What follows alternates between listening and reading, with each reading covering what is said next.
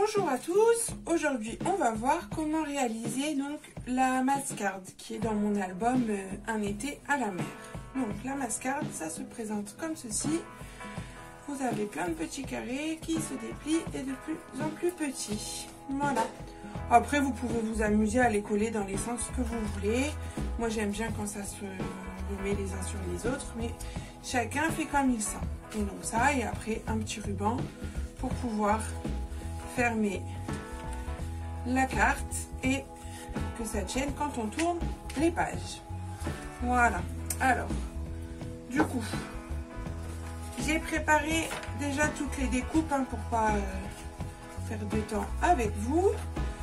Donc, il va falloir découper un rectangle de 6 par 12 sur lequel on va faire un pli à 6 et qu'ensuite on va plier sur lui-même. Vous allez faire la même chose avec un rectangle de 7 par 14 que vous pliez sur lui.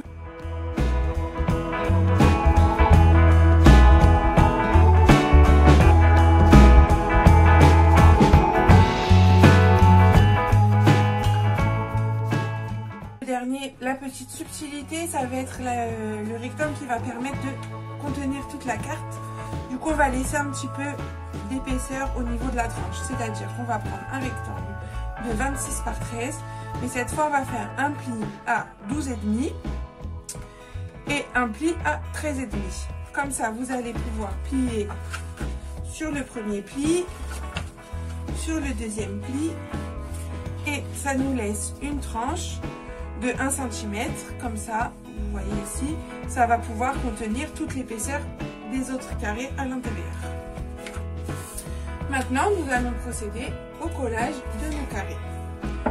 Ce que vous pouvez faire également, c'est de faire avec un carré d'une couleur, puis un carré d'une autre couleur, et ainsi de suite.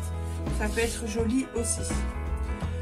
Donc bah du coup, on va mettre de la colle ou du scotch sur le carré, enfin le, enfin, le carré de 12 par 12.